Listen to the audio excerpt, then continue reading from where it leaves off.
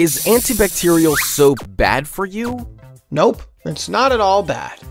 As usual, you are wrong. Ah. Antibacterial soaps claim that they destroy or remove more germs or bacteria as compared to regular soaps. However, this is not completely true.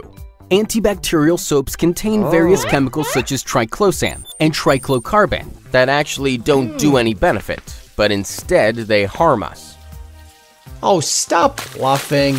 Please listen. Long-term exposure to triclosan can create antibiotic-resistant bacteria or superbacteria. How is that possible?